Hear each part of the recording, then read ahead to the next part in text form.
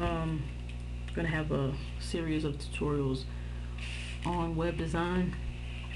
And um, in these tutorials, we're gonna start with, you know, the basics like HTML, CSS, and what- but at the same time, when you are a web designer, of course, you have to learn multiple things, or at least know a little bit about, you know, sound and video and 3D, and primarily graphic design. So if you are going to design anything, anything starts with, you know, the principles of design and things like that. So what I'm going to do is I'm redesigning my website. And by the end of these tutorials, we'll have a brand new site. So it's going to take you from Photoshop all the way to JavaScript, XML,